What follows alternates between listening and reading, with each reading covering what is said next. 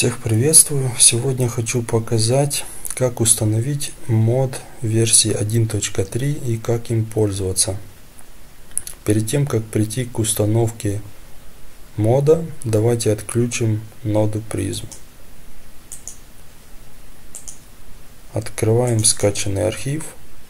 Здесь заходим в папку. Видим, есть инструкция, в которой найдете более детальное описание всех изменений, которые были произведены, можно по этой инструкции изменить свои файлы вручную.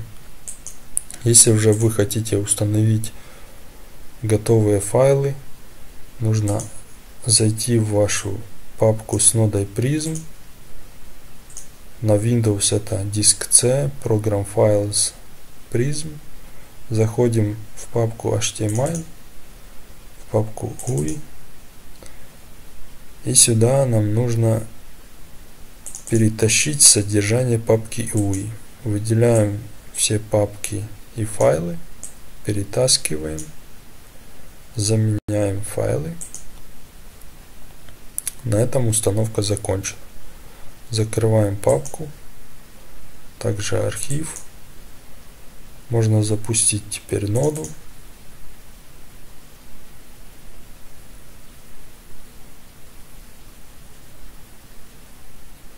Ждем синхронизации ноды. Можем в статусе увидеть то, что нода уже синхронизирована. Нажимаем ОК.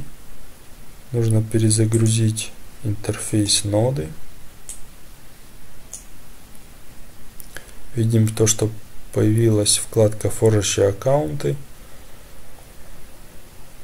Теперь нам нужно подготовить файл с парольными фразами. Допустим, мы хранили парольные фразы в Microsoft Word. Нам нужно создать текстовый документ. Можно назвать его как угодно. Я назову его три пятерки. Открываем. И сюда нам нужно записать наши парольные фразы. Вот я подготовил две тестовых фразы вставляю. Обязательно в конце нажмите Enter, чтобы не дописать лишних пробелов в парольную фразу. Копируем вторую, вставляем. Итак, в этот файл вы можете записать сколько угодно ваших парольных фраз. Далее нажимаем файл сохранить, закрываем. Также закрываем этот файл. Далее нам нужно позаботиться о безопасном хранении этого файла. Как один из вариантов предлагаю добавить его в архив и установить пароль. Я введу простой пароль 1, 2, 3, 4, 5. Вы можете придумать более сложный пароль.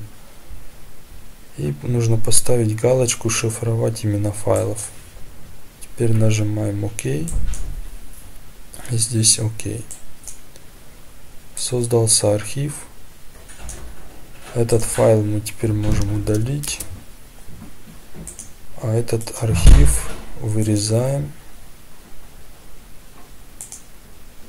И вставляем его на флешку. Теперь, когда нам нужно запустить форжинг на наших кошельках мы открываем этот архив, вводим пароль и этот файл вытаскиваем на флешку. Потом, после того, как мы запустим форжинг, этот файлик можно удалить и оставить на флешке только архив. Открываем ноду, нажимаем на кнопку «Не форжите», Здесь добавили кнопку «Запуск форжинга с файла». Нажимаем. Открывается проводник. Здесь находим нашу флешку. Здесь вот наш файл. Два раза, два щелчка по нему или один. И нажимаем кнопку «Открыть» по желанию, как вам удобно. И видим то, что форжинг сразу же запущен. Переходим на вкладку форжащие аккаунты. Видим то, что запущен форжинг на двух кошельках. Из э, дополнительного функционала добавили только нумерацию кошельков и появилась кнопочка глазик, где можно скрыть ваши данные. То есть как и общие балансы, так и сами кошельки. Это удобно, если вам нужно записать какой-то видеоролик с обзором и вам нужно скрыть свои личные данные. При этом процент доходности ваших кошельков остается. Вы можете показать примерно сколько вы получаете в монетах там в месяц. Ну, на этом у меня все. Главное, позаботьтесь о безопасном хранении вот этого вашего файла. Теперь вот этот можно удалить. И вот остался архив. Возможно, вы найдете другой способ хранения этого файла. Эм, главное, я считаю, не нужно пользоваться программами удаленного доступа. Нужно быть администратором вашего компьютера, то есть чтобы не было доступа у третьих лиц. И также не пользоваться интернетом с данного компьютера, на котором форжите, не устанавливать дополнительные программы, которые могут своровать у вас с компьютера файлы или получить доступ к вашему компьютеру.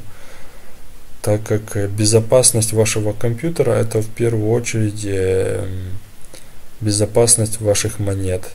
Потому что также, если кто-то получит доступ к компьютеру, он может достать э, ваши приватные фразы из оперативной памяти устройства, поэтому ему даже не нужен будет этот ваш файлик.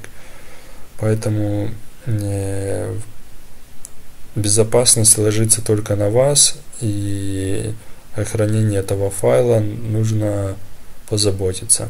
На этом у меня все. Надеюсь, Э,